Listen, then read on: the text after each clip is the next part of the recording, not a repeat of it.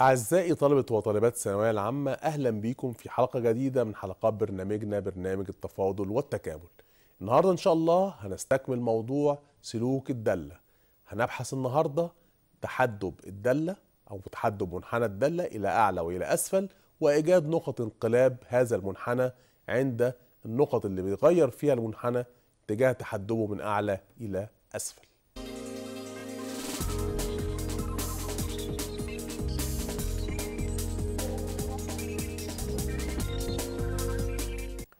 التحدب إلى أعلى والتحدب إلى أسفل ونقط الانقلاب. نظرية. إذا كانت المشتقة الثانية د شرطتين س أصغر من صفر في منطقة ما فإن المنحنى يكون محدبا لأعلى في هذه المنطقة.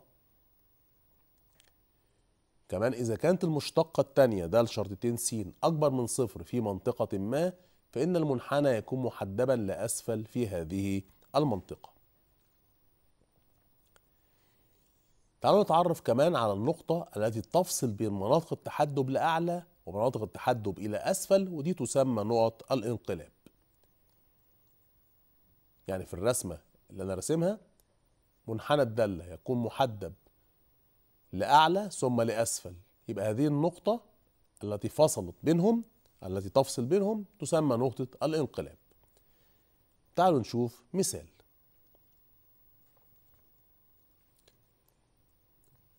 ظلل الدائرة ذات الرمز الدال على الإجابة الصحيحة تضليلا كاملا. منحنى الدالة د حيث د س بتساوي س ناقص 2 في ه أس س يكون محدبا لأعلى في الفترة. اداني بدائل. سالب واحد واتنين فترة مفتوحة الفترة المفتوحة سالب ما لا نهاية وصفر الفترة المفتوحة صفر وما لا نهاية الفترة المفتوحة صفر واتنين. آدي د س بتساوي س ناقص اتنين في ه أس س ودي حاصل ضرب دالتين. هطبق قاعدة مشتقة حاصل ضرب دالتين وأقول ده الشرطة س هتساوي. لما اشتق القوس س ناقص اتنين مشتقته بواحد. مضروبة في ه أس س نكتب ه أس س. زائد. س ناقص اتنين وأضرب في مشتقة ه أس س اللي هي ه أس س. طب نشتق كمان مرة. يبقى ده شرطتين س هتساوي. مشتقة ه أس س ه أس س. زائد. س ناقص اتنين أما تكون مضروبة في ه أس س مشتقتها. أدي ه أس س لأن مشتقة س ناقص اتنين بواحد. زائد. س ناقص اتنين في ه أس س نفك الأقواس. يبقى ده شرطتين س هتساوي. اتنين ه أس س زائد س ناقص اتنين في ه أس س هعيد من أول بوضع. ده شرطتين س بتساوي صفر. بوضع. ده شرطتين س بتساوي صفر. يبقى اتنين ه أس س زائد افتح قوس س ناقص اتنين اقفل القوس في ه أس س بتساوي صفر. هنحلل باستخراج ه أس س عامل مشترك ونفتح قوس يبقى اتنين زائد س ناقص اتنين ونقفل القوس بتساوي صفر. اختصر اتنين مع سالب اتنين يبقى ه أس س مضروبة في س بتساوي صفر.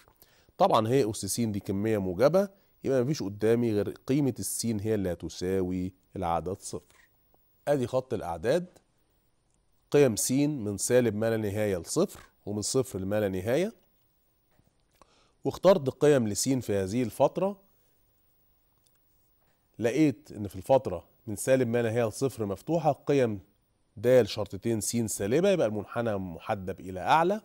وكمان اخترت قيمة لس أكبر من الصفر لقيت إن د شرطتين س موجبة يعني المنحنى محدب لأسفل. هو طلب مني الفترة اللي هيكون فيها المنحنى محدب لأعلى هجد إن هي الفترة من سالب ما لا نهاية لصفر يعني الاختيار ب هو الاختيار الصحيح. مثال آخر. ارسم شكلا عاما لمنحنى الدالة. د س بتساوي س تكعيب ناقص 3 س زائد 2 طبعا لما يطلب مني أرسم شكل عام لمنحنى الدالة د س بتساوي س تكعيب ناقص 3 س زائد 2 أنا هبحث كل اللي اتعلمته في موضوع سلوك الدالة. يعني هبحث تزايد وتناقص قيم عظمى وصغرى محلية مناطق التحدب الأعلى ولا أسفل نقط الانقلاب طبعا مرورا بالنقط الحرجة كل اللي أنا اتعلمته. تعالوا نبدأ ونقول ده الشرطة س هتساوي تمام. 3 س تربيع ناقص 3 دي المشتقة الأولى للدالة. كمان لو قلنا المشتقة التانية ده لشرطتين س دي هتساوي 6 س وأبدأ أولا ببحث فترات التزايد والتناقص. هقول بوضع ده الشرطة س بتساوي صفر يعني هساوي 3 س تربيع ناقص 3 بالعدد صفر. لو قسمت على التلاتة هيبقى س تربيع ناقص واحد بتساوي صفر. هنحللها هيبقى س زائد واحد مضروبة في س ناقص واحد بتساوي صفر. يعني القوس الأولاني س زائد واحد بتساوي صفر ومنه س بتساوي سالب واحد أو القوس التاني اللي هو س ناقص واحد بتساوي صفر ومنها س بتساوي موجب واحد. يبقى دي النقط الحرجة بتاعتي عند س بتساوي سالب واحد أو س بتساوي موجب واحد. أرسم خط الأعداد. في الفترة من سالب ما لا نهاية إلى موجب ما لا نهاية وحددت على خط الأعداد قيم س إشارة د شرطة س وسلوك الدالة د س آدي سالب واحد وآدي موجب واحد اللي عندهم ده الشرطة بتساوي صفر. وأبدأ أشتغل في الفترة من سالب ما لا نهاية لسالب واحد طبعا الفترة المفتوحة اخترت عدد زي سالب اتنين وقلت ده الشرطة سالب اتنين هتساوي. اختار أي عدد يعجبك بس خليه في جوار العدد سالب اتنين. يعني تلاتة في سالب اتنين تربيع ناقص تلاتة بتساوي اتناشر ناقص تلاتة ودي بتساوي تسعة وهي قيمة موجبة. يعني د شرطة لعدد في الفترة من سالب ما لا نهاية مفتوحة لسالب واحد مفتوحة بتساوي كمية موجبة اللي هي التسعة. يبقى هذه الدالة في هذه الفترة دالة تزايدية. واضحة على الرسم واكتب كده الدالة تزايدية. وأبدأ أشتغل في الفترة من سالب واحد لواحد مفتوحة وأختار عدد ينتمي لهذه الفترة لسين زي صفر. يبقى ده الشرطة صفر هتساوي تلاتة في صفر تربيع ناقص تلاتة ودي بتساوي سالب تلاتة. طبعا سالب تلاتة كمية سالبة أصغر من صفر. ده معناه إن ده الشرطة إشارتها سالبة والدالة السهم بتاعها بيدل على التناقص وبكتب كمان إن هذه الدالة تناقصية في الفترة المفتوحة من سالب واحد لموجب واحد. لو اتكلمنا عن الفترة من واحد إلى ما لا نهاية الفترة المفتوحة طبعا هختار عدد زي اتنين وأقول ده الشرطة اتنين. حاول تختار عدد قريب من الواحد أكبر من الواحد وقريب منه زي اتنين. يعني هتساوي تلاتة في اتنين تربيع ناقص تلاتة. يعني هتساوي اتناشر ناقص تلاتة وهي بتساوي تسعة ودي كمية أكبر من الصفر يعني كمية موجبة يعني ده الشرطة س موجبة ومنحنى الدالة بيتزايد وبكتب إذا الدالة تزايدية في الفترة المفتوحة واحد وما لا نهاية. يبقى إحنا عشان نرسم منحنى الدالة بحثنا النقط الحرجة جبناها الأول وبعدين شفنا فترات التزايد والتناقص لهذه الدالة. تعالوا دلوقتي نبحث القيم العظمى المحلية والقيم الصغرى المحلية لهذه الدالة آدي خط الأعداد اللي بحثنا عليه التزايد والتناقص. هجد عند س بتساوي سالب واحد على يسارها ده الشرطة س موجبة يعني الدالة تزايدية وعلى يمينها ده الشرطة س سالبة يعني الدالة تناقصية. ده معناه إنه توجد للدالة قيمة عظمى محلية عند س بتساوي سالب واحد. طب أنا عايز أعرف القيمة المناظرة. يبقى هعوض في الدالة الأصلية عن س بتساوي سالب واحد. يبقى نقطة القيمة العظمى المحلية هي سالب واحد وأربعة. أنا عوضت في الدالة الأصلية اللي كانت س تكعيب ناقص تلاتة س زائد اتنين عن س بسالب واحد. لقينا إن قيمة الصاد هتساوي أربعة وهي القيمة العظمى المحلية. كمان عند س بتساوي واحد لما بحثنا التزايد والتناقص لقينا إن على يسار س بتساوي واحد ده الشرطة كانت سالبة يعني الدالة تناقصية. وعلى يمينها من خلال الرسم ده الشرطة س موجبة يعني الدالة تزايدية. ده معناه إن عند س بتساوي واحد توجد للدالة قيمة صغرى محلية. طبعا هذه القيمة عشان أتوصل إليها وأحسبها هقعد في الدالة الأصلية اللي كانت س تكعيب ناقص 3 س زائد 2 وأجد إن نقطة القيمة الصغرى المحلية هي واحد وصفر يبقى أنا دلوقتي تعرفت كمان أو توصلت للقيم العظمى المحلية والقيم الصغرى المحلية للدالة اللي أنا عايز أرسم المنحنى بتاعها. نتكلم كمان عن بحث مناطق التحدب ونقط الانقلاب وده درس النهاردة. هقول بوضع د شرطتين س بتساوي صفر يعني ستة س بتساوي صفر دي المشتقة التانية ومنها بعد الاسم على ستة هجد إن س هتساوي صفر. آدي خط الأعداد اللي هبحث عليه التحدب لأعلى والأسفل ونقط الانقلاب إن وجدت. هبين عليه طبعا قيم س وإشارة د شرطتين س والمنحنى إذا كان محدب إلى أعلى ولا إلى أسفل. عندي س بتساوي صفر د شرطتين س بتساوي صفر. وأبدأ أشتغل في الفترة المفتوحة من سالب ما لا نهاية إلى صفر. واختار عدد قريب من الصفر وعلى يسار الصفر زي سالب واحد وأقول د شرطتين سالب واحد بعوض في المشتقة الثانية يبقى ستة في سالب واحد ودي بتساوي سالب ستة وهي قيمة سالبة أقل من الصفر. يبقى على الرسم أحط قدام ده الشرطتين إشارة سالبة معناها أن منحنى هذه الدالة محدب إلى أعلى. وأكتب كده الفترة من سالب ما لا نهاية مفتوحة لصفر مفتوحة التحدب لأعلى نيجي للفترة المفتوحة من صفر إلى ما لا نهاية وأختار عدد ينتمي لهذه الفترة يكون أكبر من الصفر وقريب من الصفر زي الواحد وأقول ده لشرطتين واحد هتساوي ستة في واحد ودي بتساوي ستة. وهي قيمة أكبر من الصفر يعني قيمة موجبة يعني ده لشرطتين س في هذه الفترة قيمتها موجبة يبقى منحنى هذه الدالة محدب إلى أسفل. وبكتب كده إذا التحدب لأسفل في الفترة المفتوحة من صفر إلى ما لا نهاية. طيب طالما المنحنى واخد الشكل دوت عندي محدب إلى أعلى وبعدين بقى محدب إلى أسفل في فترة أخرى يبقى توجد نقطة انقلاب. عند س بتساوي صفر. تمام. طب هذه النقطة إحداثيها الصادي بكام؟ عشان نجيب إحداثي صادي يبقى يجب إن إحنا نعوض في الدالة الأصلية. يبقى دالة صفر هتساوي تمام الدالة الأصلية اللي كانت س تكعيب يبقى صفر تكعيب ناقص تلاتة في س زائد اتنين يبقى تلاتة في صفر زائد اتنين. نحسبها هنجد إن هي بتساوي اتنين. يبقى عندما س بتساوي صفر الصاد بتساوي اتنين ودي بنسميها نقطة الانقلاب.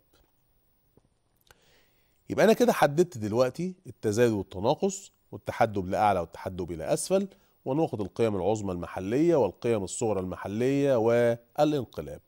تعالوا نلخص الكلام ده في جدول. أدي قيم السين سالب اتنين وسالب واحد وصفر وواحد واتنين وأدي قيم الصاد اللي هي د س قيم المناظرة يعني اللي كانت صفر وأربعة واتنين وصفر وأربعة. خلي بالي إن النقطة صفر واتنين دي نقطة انقلاب والنقطة سالب واحد وأربعة قيمة عظمى محلية للدالة والنقطة واحد وصفر قيمة صغرى محلية للدالة آدي محور السينات ومحور الصادات وأرسم النقط اللي إحنا اتفقنا عليها. آدي أول حاجة سالب اتنين وصفر دي نقطة هتساعدني. وكمان سالب واحد وأربعة اللي هي قيمة نقطة القيمة العظمى المحلية والنقطة صفر واتنين نقطة الانقلاب والنقطة الصغرى المحلية اللي هي واحد وصفر ونقطة أخرى هتساعدني اللي هي اتنين وأربعة وأبدأ أوصل بينهم واخد بالي وأنا بوصل إن النقطة سالب واحد وأربعة قيمة عظمى محلية والنقطة واحد وصفر نقطة قيمة صغرى محلية وكمان المنحنى محدب لأعلى من سالب ما لا نهاية إلى صفر. فهو أنا برسم خليني حريص إن أنا محدب حد أرسم المنحنى محدب إلى أعلى من سالب ما لا نهاية إلى صفر. أما في الفترة من صفر إلى ما لا نهاية المنحنى محدب إلى أسفل وأنا برسم أبقى حريص إني أخلي المنحنى محدب إلى أسفل. بكده يبقى أنا قدرت أرسم منحنى الدالة اللي هي س تكعيب ناقص 3 س زائد 2 وشفت شكل المنحنى بعد ما رسمته. وطبعا أنا تعرفت على الرسم المنحنى بدراسة سلوك الدالة تزايد وتناقص تحدب لأعلى وتحدب لأسفل نقط حرجة عظمى وصغرى محلية وكمان نقطة الانقلاب. تعالوا نشوف مثال آخر. ارسم منحنى الدالة المتصلة د الذي يحقق الخواص التالية. د أربعة بتساوي اتنين د تلاتة بتساوي أربعة و د اتنين بتساوي صفر وده الشرط س أصغر من صفر عندما س أكبر من أربعة أو س أصغر من اتنين كمان د شرطتين س أصغر من صفر عندما س أكبر من تلاتة وده شرطتين س أكبر من صفر عندما س أصغر من تلاتة تعالوا مع بعض نشوف إزاي هنقدر نرسم منحنى هذه الدالة المتصلة بالشروط أو الخواص اللي قالها لي في السؤال. هنقول بما أن دالة أربعة بتساوي أربعة يبقى منحنى هذه الدالة يمر بالنقطة أربعة وأربعة يعني س بأربعة وص بتساوي أربعة. كمان قال لي إن اتنين دال تلاتة بتساوي أربعة. لو قسمت الطرفين على اتنين يبقى د تلاتة بتساوي اتنين. يبقى كمان نقدر نقول إن منحنى الدالة هيمر بالنقطة تلاتة واتنين لما س باتنين ص بتلاتة. كمان قال لي إن د اتنين بتساوي صفر. كمان معلومة تالتة إن منحنى الدالة يمر بالنقطة اتنين وصفر يبقى دول تلات نقط هيساعدوني في رسم منحنى هذه الدالة. كمان قال إن د شرطة س أصغر من صفر يعني ده الشرطة س سالبة عندما س أكبر من أربعة أو س أصغر من اتنين. تعالوا نرسم خط الأعداد من سالب ما لا نهاية لموجب ما لا نهاية. وادي قيم السين وقيم الدال شرطة س وأشوف منحنى د س هيكون شكله إيه في الفترات اللي هنقسم فيها خط الأعداد بالنقطتين س بتساوي اتنين وس بتساوي أربعة. عند س باتنين ده الشرطة بصفر وعند س بأربعة ده الشرطة بتساوي صفر. هو قال إن ده الشرطة س بتكون سالبة عندما س أكبر من أربعة أو أصغر من اتنين. معنى كده إن هي هتكون موجبة خلال الفترة من اتنين لأربعة. كمان قال لي إن ده الشرطتين س أصغر من صفر عندما س أكبر من تلاتة يعني منحنى محدب لأعلى عندما س أكبر من تلاتة وده لشرطتين س أكبر من صفر موجبة عندما س أصغر من تلاتة يعني المنحنى محدب لأسفل عندما س أصغر من تلاتة. طيب تعالوا بقى نرسم منحنى هذه الدالة أدي منحنى الدالة أدي النقط اللي هتساعدني في الرسم النقطة أربعة وأربعة والنقطة اتنين وصفر والنقطة تلاتة واتنين. وادي منحنى الدالة بتاعنا. واضح إن هو فعلا هذا المنحنى أو الدالة دي تناقصية في الفترة من سالب ما لا نهاية لاتنين وتزايدية من اتنين لأربعة وتناقصية من أربعة لما لا نهاية. والمنحنى محدب لأسفل عندما س أصغر من تلاتة ومحدب لأعلى عندما س أكبر من تلاتة. مثال آخر. إرسم منحنى الدالة المتصلة د الذي يحقق الخواص التالية. د أربعة بتساوي اتنين د تلاتة بتساوي أربعة. و د اتنين بتساوي صفر. كمان ده الشرطة س أصغر من صفر عندما س أكبر من أربعة أو س أصغر من اتنين. بيقول لي كمان ده الشرطتين س أصغر من صفر عندما س أكبر من تلاتة وده الشرطتين س أكبر من صفر عندما س أقل من تلاتة. عايزني أقسم منحنى هذه الدالة المتصلة بالخواص اللي قالها لي دلوقتي. نبدأ ونقول بما أن دالة أربعة بتساوي أربعة. إذا تمام. منحنى الدالة هيمر بالنقطة اللي إحداثيها السيني أربعة وإحداثيها الصادي أربعة اللي هي النقطة أربعة وأربعة. كمان بما أن اتنين دال تلاتة بتساوي أربعة فلو قسمنا الطرفين على اتنين يبقى دال تلاتة هتساوي اتنين. برضو نقدر نقول إن منحنى الدالة يمر بالنقطة تلاتة واتنين يعني النقطة اللي احداثيها السيني بتلاتة واحداثيها الصادي باتنين. كمان في معلومة بتقول لي إن د اتنين بتساوي صفر. إذا منحنى الدالة يمر بالنقطة اتنين وصفر. كمان عندنا معلومة عن المشتقة الأولى ده الشرطة س هي سالبة أصغر من صفر عندما س أكبر من أربعة أو س أصغر من اتنين. تعالوا نشوف إزاي نقدر نرسم خط أعداد من سالب ما لا نهاية لموجب ما لا نهاية ونشوف هنبين عليه قيم س وإشارة د شرطة س وسلوك منحنى الدالة د س آدي س باتنين وس بأربعة اللي عندهم د شرطة س بتساوي صفر وأبدأ أقول بما أن د شرطة س سالبة أصغر من صفر يعني سالبة عندما س أصغر من اتنين أبين على الرسم. تمام؟ في الفترة اللي فيها س أقل من اتنين د شرطة س كانت سالبة. بالتالي المنحنى الدالة بيكون تناقصي. وبقول ساعتها إن الدالة تناقصية. كمان ده شرطة س أكبر من صفر في الفترة من اتنين لأربعة عندما اتنين أصغر من س أصغر من أربعة أو س أكبر من اتنين وأصغر من أربعة يبقى منحنى الدالة في هذه الفترة بيزداد أو الدالة تزايدية في هذه الفترة. كمان نتكلم عن ده الشرطة س سالبة أصغر من صفر عندما س أكبر من أربعة. يبقى منحنى هذه الدالة في الفترة من أربعة لما لا نهاية يعني عندما س أكبر من أربعة المنحنى هيبقى منحنى دالة تناقصية. كمان هنتكلم عن د شرطتين س ونوضحها على خط الأعداد من سالب ما لا نهاية لموجب ما لا نهاية والقيم س وإشارة د شرطتين س ومنحنى الدالة هيبقى واخد أي شكل من الأشكال التحدب لأعلى ولا لأسفل. أدي التلاتة اللي عندها د شرطتين بتساوي صفر وإحنا قلنا إن د شرطتين س موجبة أكبر من صفر عندما س أقل من تلاتة. في الفترة اللي فيها س أقل من تلاتة د شرطتين إشارتها موجبة ومنحنى الدالة بيكون في هذه الفترة محدب إلى أسفل. طب لو د شرطتين س أصغر من صفر تمام عندما س أكبر من تلاتة يبقى الإشارة سالبة عندما س أكبر من 3 يبقى منحنى الدالة محدب إلى أعلى عندما س أكبر من 3 تعالوا نشوف بقى إزاي نرسم الدالة المتصلة بتاعتنا. أدي محور السينات وأدي محور الصادات وادي النقط اللي هو اداها لي في السؤال دي نقط مساعدة ادي النقطة 3 و2 وادي النقطة 2 و0 وادي النقطة 4 و4 خلي بالي إن منحنى الدالة كان تمام تناقصية عندما س أصغر من اتنين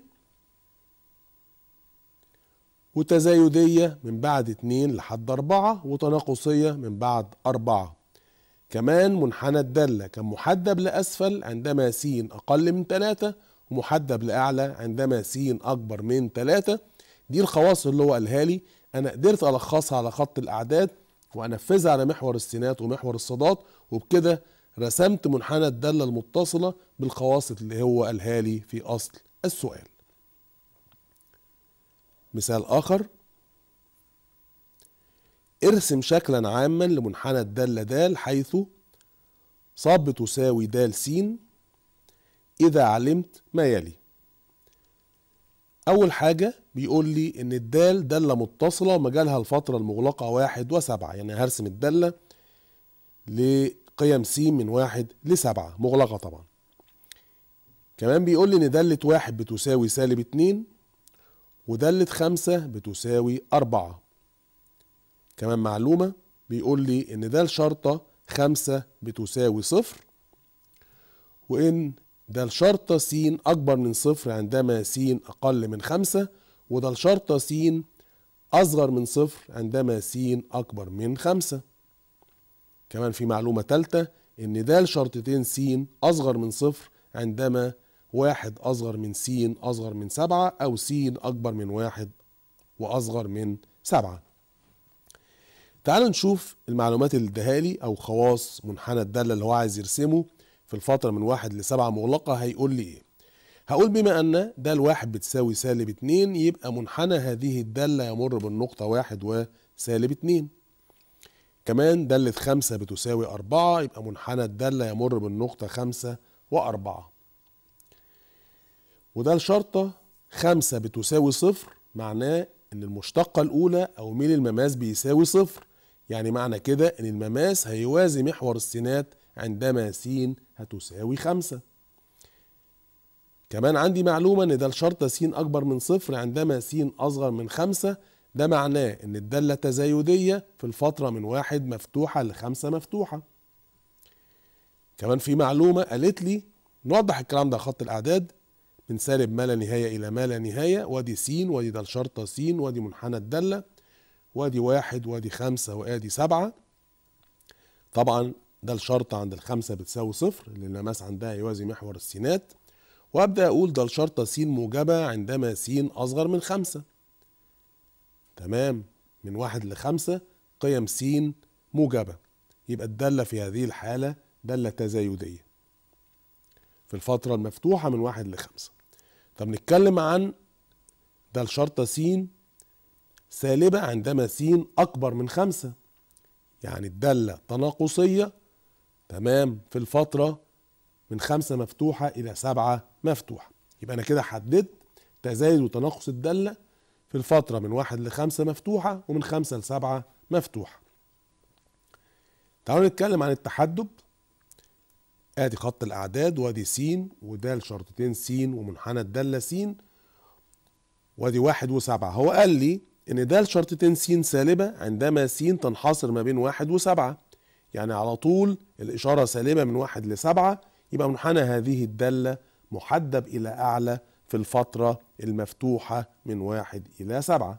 تعالوا نرسم منحنى الدالة. أدي محور السينات وأدي محور الصادات ما تنساش تحدد إن الدالة بتاعتك دالة متصلة مجالها من واحد لسبعة. يبقى هرسم في الفترة المغلقة من واحد إلى سبعة. طيب في نقط كانت نقط مساعدة ليا اللي هي دالة واحد بسالب اتنين ودالة خمسة بتساوي أربعة. دي نقط مساعدة. وأنا عارف إن الدالة التزايدية من واحد لخمسة مفتوحة وتناقصية من خمسة لسبعة. يبقى وأنا برسم أبقى حريص أخلي المنحنى هذه الدالة يتزايد أو قيم صاد تتزايد من واحد إلى خمسة وتتناقص من خمسة إلى سبعة. وفي نفس الوقت رسمت منحنى هذه الدالة محدب إلى أعلى في الفترة من واحد إلى سبعة. يبقى أنا كده قدرت أرسم شكل عام لمنحنى الدالة صاد بتساوي د س بالخواص أو المعلومات اللي قالها لي في أصل السؤال.